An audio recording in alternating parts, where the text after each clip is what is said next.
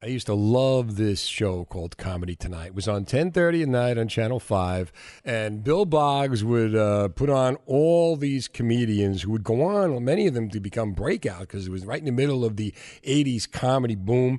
And um, he goes on, he becomes an Emmy award winning TV talk show host. He produced the Morton Downey Jr. show, Court TV, Bill Boggs Corner Table on the Food Network.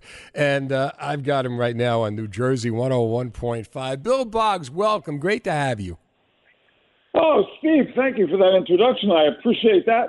Are you in Secaucus, New Jersey, Steve? No, no, no. I'm in, in Ewing. Oh. no, you were in Secaucus, New Jersey you're pro- you're probably in an underground bunker instead of the studio. Thank you for that very much. You know, comedy tonight uh-huh. was a show. You nailed it. It it perfectly captured the comedy boom. It was on 121 stations for two years. Uh-huh. We auditioned 1,557 comedians, wow. and we booked 450 comedians on Comedy Tonight. Oh my God! Now there was one night that I remember that I got to ask you about, and it was the night that you had Howard Stern on. Uh, oh, that was oh yeah, oh that, you that's that's on my YouTube channel. Uh-huh. You can see what we're. I have a YouTube channel with 400 and two.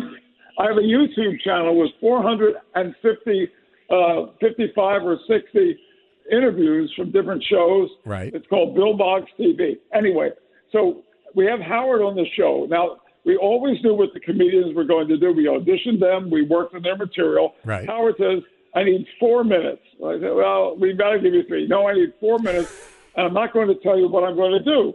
Now, I had had Howard on midday live a couple times right. and knew him pretty well. So we trusted Howard. So Howard comes on and he puts me in a complete S and M outfit, handcuffs, red ball in my mouth, hood on my head, and is squirting me with water. Right, and that's his bit.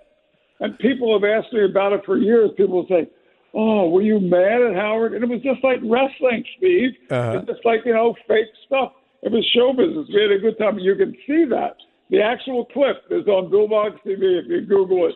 Bill Boggs and Howard Stern. Thank you. Thanks for asking me. Oh, you were a great sport about it. Yeah, I mean, you had a great, you know, had a grand old time with it, and and went. the ratings went through the roof, and I, I, remember the show, and I went back and I watched it, and yeah, and you know what, you uh, you were on the forefront of that because you go on to produce the Morton Downey Jr. show, and how did Morton yeah. Downey Jr. revolutionize things? Well, it's Morton Downey Jr um, you know, the, the, the loudmouth of TV essentially ushered in what is called the uh, trash television. Mm-hmm. The, the, the thing is that, like the Jerry Springer show, has has has really crazy guests with a, with a normal host. Right. The Downey show was normal guests with a crazy host. I mean, we would t- we would t- take really serious serious issues like women in the military, abortions rights, poverty, take really serious stuff. And Downey made that entertaining because of the nature of his personality. Now, how much from the Howard Stern show influenced that? Because they were the two things. Howard was the radio, and then at night you had Morton Downey, and you were kind of in the well, middle of the two. Morton Downey Jr. was doing the same thing Howard Stern was doing on the radio in uh, Chicago. So uh, Bob Pittman and Brian Beadle, who right. lives, lives over in New Jersey still, these guys wanted to do a show that was like the old Joe Pyne show, and they found uh, Morton Downey Jr. in Chicago and brought him to New York. He had never been on television before. Uh-huh. He was a natural performer, brilliant guy, brilliant guy, Morton Downey Jr. And what was he like off camera? Was he like insecure and core? was he the same guy? uh, very, very insecure extremely intelligent, mm-hmm. not an angry guy, but he had a real hair hair trigger temper. Um, one time we were flying back from interviewing James Ray, the assassin of Martin Luther King, and we were in the first class compartment, and Mort had had a couple of Bloody Marys. I had two glasses of white wine, and I turned to Mort and I say, Mort, aren't all the problems you've had in your life a result of the fact that you never felt your father loved you? and he threw his arms around me, hugged me, sobbing. Oh no! Wow. You're the only one who understands it. Everybody in the, the first class was like looking at him, standing up, and he was sobbing for like three minutes. That's one of a hundred Morton Downey Jr. stories. Wow. You know, you but you know what? You were such a nice guy. You were friendly. Everybody loved you. It was easy to see you the way that you related to the guests. I remember Bill Boggs' corner table on the Food Network. How did you get that? Thank How you. did that come about? Well, the Food Network show came about because uh, I knew that there was going to be a Food Network, and I and I, I believed in the concept of food as entertainment. Mm-hmm. So I went to Reese uh, Schonfeld, who was essentially at the helm, and I had met him uh, with Ted Turner years before that. And I said, "Look, I think I can make a contribution here. I've been doing a radio show with my girlfriend about food on the weekends." Because uh, she was a chef, and I thought, well, we'll do a radio show on Saturdays, give her some media exposure and he hired me. So I was on the Food Network doing various things, and they wanted to do a show essentially that would be a non-straight cooking show. So I came up with the idea because on Midday Live we had once a week had the round tables where we'd sit around uh, and interview guests over a meal. Why not do this with celebrities? So here's the, here's the headline. This is like the greatest scam of my career. Uh-huh. I got the food net. I got the Food Network to pay me really good money, go to the best restaurants in America, sit down and eat for free with big name celebrities, and be on television. They paid me to have lunch with Sophia Loren. They paid me to have lunch with Fergie. They oh, paid me to have lunch with Martha Stewart. I know, I Look know. at you. The, the bill. You were Anthony. Bourdain before Anthony Bourdain. Look at you. Oh, Anthony Bourdain. Anthony Bourdain wrote some horrible things about me in his book. He's on my dark list. Oh, really? I'm sorry. He's, he's, he's also in a dark place. I'm not. That's okay. I don't care. You think I care? Not at all. I'm still walking around. You know, let's look at it that way. there you go. I now you worked with some of the greatest comedians, as you said, on Comedy Tonight in the '80s boom. Yeah. And how would you compare, like comedy in the '80s when it was all breaking out, Kinison, Bill Hicks, and Andrew Dice Clay, to comedy now? Well, that's a very good question, and I, I want to work in the fact that I want to talk about my book, which is a, a satire and a comedy book. You you have said that comedy is the last uh, vestige of freedom of speech. Okay, Right. you have said the comedy with comedy we look each other right in the eye, and we we look we look at the world right in the eye and laugh in its face. You did your homework. That, yeah, that. Thank you. That's the way comedy was in the '80s. In the '80s, comedians were not worried about going on stage and being vilified because they said something that in, that affect that upset two people in the 18th row who get on social media and vilify them for the next three days. Comedy, in and of itself, is transgressive. I have written a book, which is a complete comedy book. It's gotten, I'm not bragging, mm-hmm. I'm just saying, it has gotten reviews saying, laugh out loud funny. I, the book is called The Adventures of Spike the Wonder Dog, as told to Bill Boggs, and it traces my TV career in a memoristic kind of way, but it's narrated by a dog who has a tremendous sense of humor.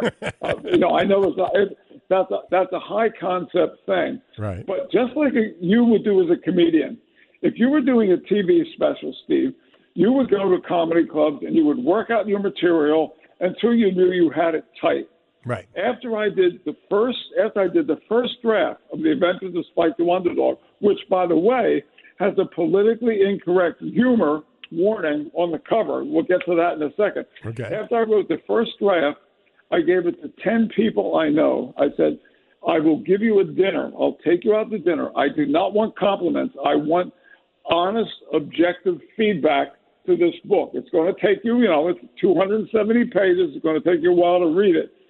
10 people out of 10 came back to me over the course of a few months and said, laugh out loud funny.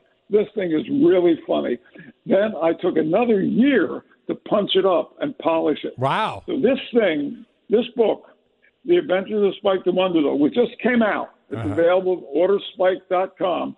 The Adventures of Spike the Wonder Dog, as told to Bill Boggs, is the single best piece of work I have ever done in my life. I'm not bragging. I'm just telling you what I what I thought. So, what what are your feelings about how easily people are offended now? I'm challenging people. I'm saying, hey, look, you know, let's laugh at ourselves again. Let's not worry about cultural appropriation. Well, you know what I have to say about that?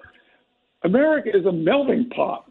If everybody's worrying about offending somebody because of cultural appropriation, then we can't melt. Right. That's quote from Bill. That's a quote from Bill Maher. That's not Bill Boggs. I agree with that. Mm-hmm. But what do you think, Steve? What do you think? I agree. I totally agree. I mean, basically, like I said, you know, we can't laugh at ourselves if we can't look the, you know, if we can't look the beast in the eye and laugh in its face. Then what are we saying about ourselves? We shouldn't be living in pain and fear, like John Lennon says. You know, basically, when everybody can laugh at each other, that's how we become one. You, you, you, you're at your most intimate with someone whose chops you can bust who you can make fun of and can make fun of you. That's the kind of intimacy we need. Is uh, is what I feel. That that that's honestly that's what I'm aiming for with my book. Now, when I first when I wrote the book, I had no idea to be I'd be on the air at the time of the, the greatest crisis we uh, that we've faced in our lifetimes. There's no question about that. I'm actually talking about my book now with a purpose in a purposeful way. I believe if you read the book, just like watching, say, five hours of sitcoms or a really funny movie, it's going to lighten your load. I believe that there's a purpose in that. Short of a vaccine, Steve, mm-hmm. short of a vaccine, laughter is the best medicine we have. Anything Absolutely. that's going to get you laughing. Any, the New York Times is writing about this just this the other day. Anything that gets you laughing, that takes your mind off of the crisis that we're in, the quagmire that we're in, the uh, quagmire, family guy that we're in, uh, is a good thing. Is a good thing. You could be the Norman Cousins of of of the coronavirus, right? You can laugh our way back to good health with Bill Boggs, the, the Adventures of Spike the Wonder Dog, as told to Bill Boggs. Bill, man, it's it's an honor to have you on. Final question: If you could get, yes. If you could get sixty minutes on the coronavirus from any comedian, who would you want to hear it from? 60 minutes on the coronavirus from any comedian? Yeah, 60 minutes on what's going right. on right now. Who would you want to hear it from? Dice. The Dice, Dice Man. All right. I'll take the Dice Man.